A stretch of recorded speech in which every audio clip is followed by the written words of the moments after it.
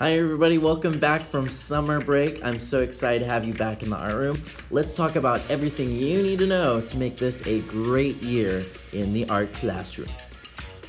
Ladies and gentlemen, the first rule that you need to know is that when you enter the classroom, you will follow these green arrows. These green arrows help you travel around the room. Please use these arrows at all times. Whether you're getting up to use the restroom, get a supply, or make any movement in the room, even during emergency situations, you always should use the green arrows. The green arrows help us manage traffic of the room. That way nobody's bumping into each other. It is so important that you walk into the art room quietly, slowly, and you pick up all materials that you were asked to pick up.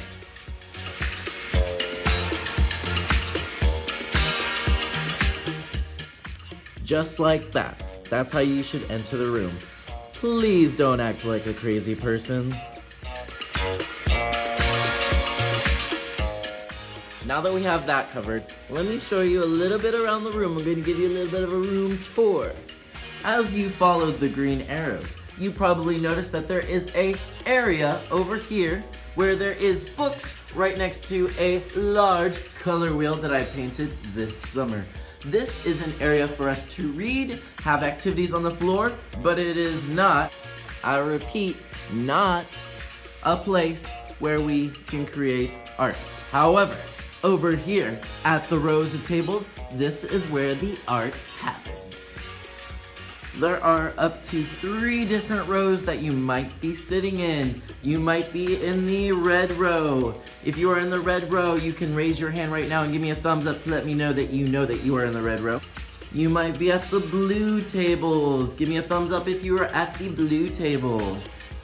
Or maybe you are at the yellow table. Where are my yellow tables? Along with a table color, in this case it is the blue tables, you will also have a table number. This one is table 9. I know it is table 9 because my bin says so. Let's talk about what is inside your bin.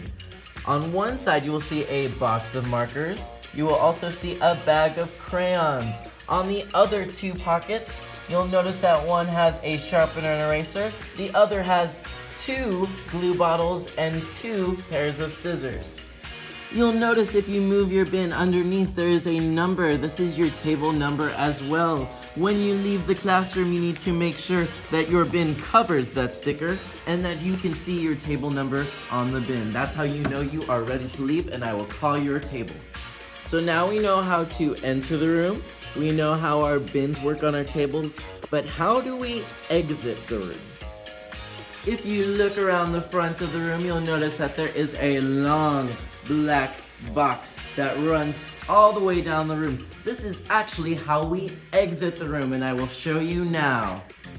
When class is over and we're preparing to leave the room, I will call tables either by your table color or your table number, and it's your job to push in your stool, follow the green arrows to the black box, and wait patiently until I dismiss your class to leave.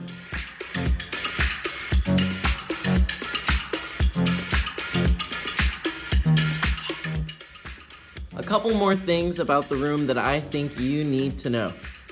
We have two sinks in this room, which is awesome to have in an art room because we have so many materials that need to be cleaned. But that's why we have these to clean materials and for paint. These sinks are actually not for hand washing. If you need to wash your hands, we do have a sink down the hallway near the restrooms. With that being said, Please do not use the classroom sinks to wash your hands. I will usually provide you a wet wipe or I may dismiss you in groups to go wash your hands near the restrooms. Alright, let's talk about how we act during class. If I ever say, show me slant, all you need to know is that you need to sit up straight and then track me. You need to find me with your eyes. Let's go ahead and practice that now. Show me slant. Nicely done. Now, what if you need to use the restroom? What if you have a question? Let's talk about how you get my attention in the room. In my room, it is important that any movement, you must raise your hand. If you have a question, please raise your hand. If you need to use the restroom, take two fingers, wrap them around. This tells me that you need to use the restroom outside. I will give you a thumbs up and you are good to go to leave the classroom. Another symbol that you need to use is to take three fingers like this. This shows me that you need to get a drink of water. You're feeling thirsty. If you need to get some water, just show me three fingers. Same thing, I'll give you a thumbs up and you are good to go. Any movement you make in the classroom, you need to let me know. It's my job to keep you safe, so it's my job to know where you are at all times. If you need a supply, just raise your hand. Oftentimes, my answer will always be yes, but you have to raise your hand. You have to show me some sort of clue that you need to make a movement or you have a question in the classroom. So whether it be you have a question, need to use the restroom, or maybe you just need some supplies, please raise your hand. You must let me know what you're doing at all times. It's my job to keep you safe. Alright, well that is all for today. That is what you need to know to make this an awesome year in art. I am so excited to have all of you in our class again. This is going to be an amazing year. I'm so excited to have you.